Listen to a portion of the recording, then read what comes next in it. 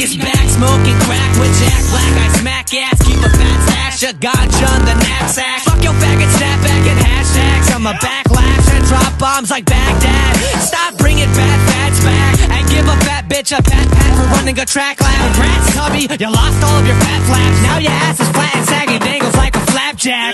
Got some weed, sit back, enjoy some. Watch this asshole talking shit up at the podium. Show up in class, strapped with a dildo and a loaded gun. Scream the new Batman, shoot up the auditorium. Causing pandemonium, roll up in the DeLorean. This is where your story ends, and fuck you, Nickelodeon. The government's controlling them. Kids' craniums, they holding them. Corrupting and molding them while you sit back supporting them.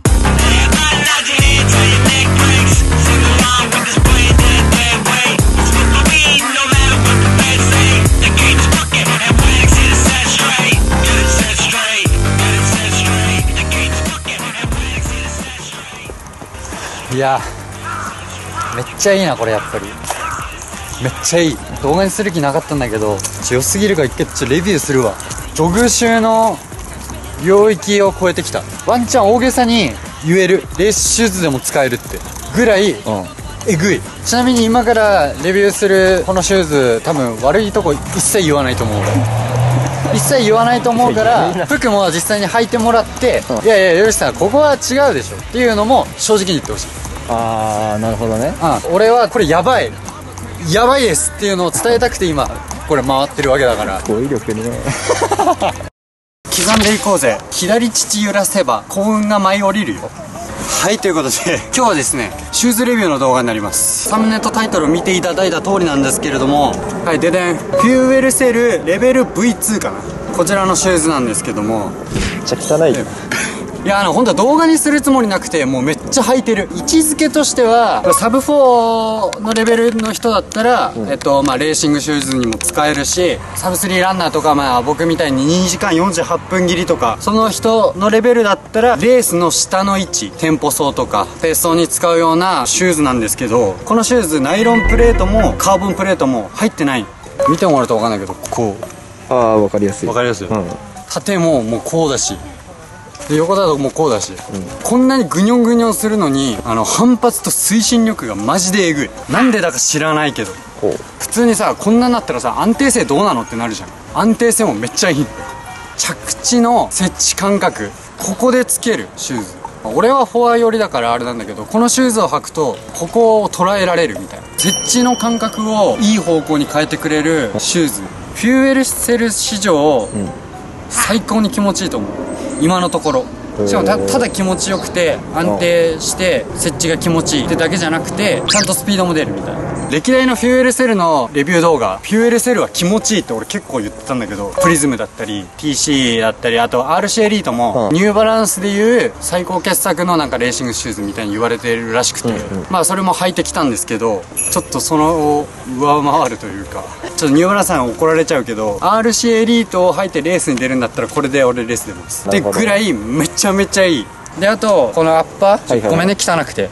エンジニアードメッシュみたいな。はい通気性も普通にある、うん。長いロングジョグとかでも全然蒸れずに走れるし、相当履いてるけどヘタレとかもないしいや脆いなとか。はいはい。そういう感覚もないんでこれリピートしたいぐらいのシューズですねえちなみになんか傾斜とかどうなんですか？これはねフラットですね。結構つま先が上がってるように見えるんだけど。つま先ちょっと上がってんなみたいな感覚がないの、あそうなんだ、俺らのレベルでもめちゃめちゃいいし、まあ、柔らかいから初心者も履けるみたいな。ほんと幅広く扱えるシューズなんですけど何がすごいかってコスト。1万2000円ぐらいで買えるのよこれなんかジョグシューの位置づけだったらまあまあまあまあってなるじゃん。まあギリ。うん。そのジョグシューの位置づけをなんかはるかに上回る感動うん。推進力と反発を生み出すシューズなんで他のなんか下手な高いカーボンシューズ買うんだったらうん。全然これでいいやみたいな。もうそんぐらい。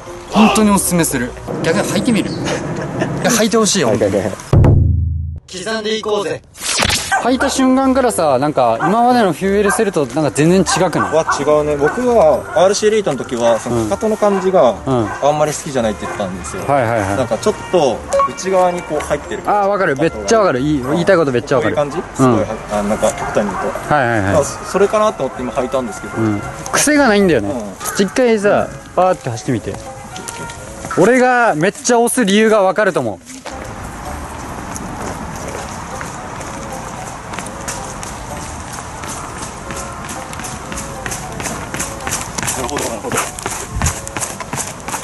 どうですか？感想だけどはい。YOSHIKI さんの言ったことなんとなく分かって、うん。僕あんまり詳しくないんで分かんないんですけど、ん。